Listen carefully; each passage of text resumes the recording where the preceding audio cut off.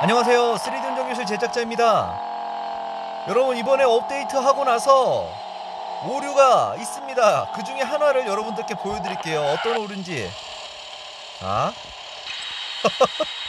자 이 상태에서 카메라 모드 바꾼 상태에서 사람을 내려볼게요.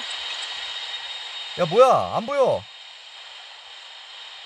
비행기 내리겠습니다. 자 내렸는데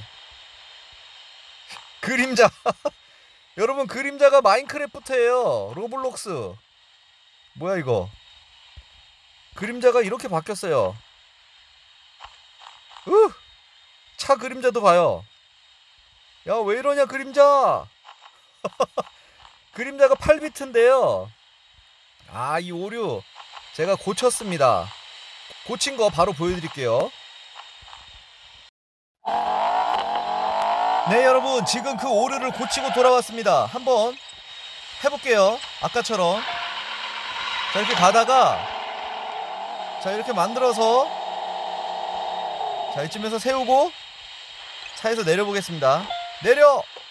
그림자 좀 보자! 제발! 제발! 아하. 그림자 고쳤죠.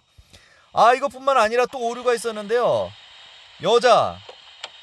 여자로 바꿔볼게요 여자로 바꾸면은 여자의 그림자가 머리 머리통 그림자가 없었어요. 근데 머리통 아무튼 머리카락 머리 그림자가 없었는데 그것도 고쳤습니다. 오 무섭더라고요. 막 머리가 없으니까.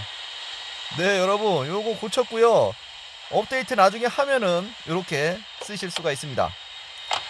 네 여러분 3D 운전교실 영상 시청해주셔서 감사하고요.